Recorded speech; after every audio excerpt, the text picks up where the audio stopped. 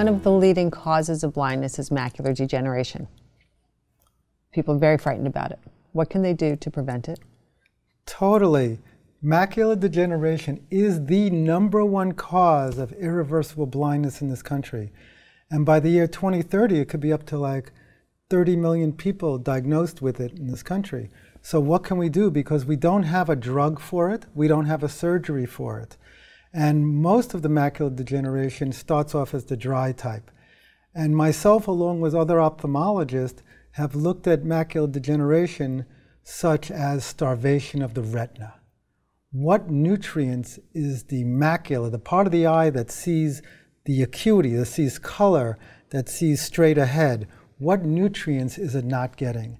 And they've been shown by as little as six milligrams of lutein a day that comes from kale, marigold flowers, has been shown to cut the risk of macular degeneration by over 43%.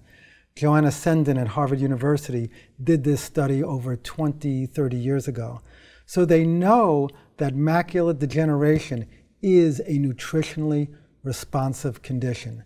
So for prevention, you need to do lutein, zeaxanthin, which is another carotenoid that's specifically found in the macula of the eye.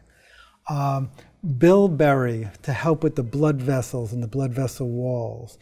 Um, How about vitamin C? Vitamin C is just good all around, yeah. but it's not as specific okay. for the macula as it is for like the lens of the eye. Okay. And should people be supplementing these things, or can they get it enough through diet? I'm a big believer in you know food. So the number one food for the eyes, I'm sorry, it's not carrots, but it is kale. Okay. The green leafy vegetables, kale, collards, spinach Yes, if you juice, I have, you know, if you do juicing with the green leafy vegetables, orange peppers have a high level of what we call zeaxanthin. So you can get it from foods. But if you don't eat a lot of green leafy vegetables every day, you know, you can for very, very low cost uh, supplement with um, different supplementation for these uh, carotenoids. And how important is sunglasses to protecting the macula. Yeah, photooxidation uh, from the sun can break down the tiny blood vessels in the eye.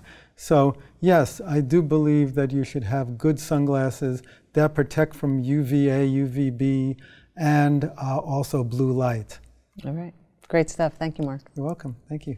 If you like what you just saw with Dr. Marc Grossman, come back to our website. We have a whole lot more videos with him and with our other great experts. And do me a favor, do the social thing. Share it. Tell your friends, tell your family. It's great information for all.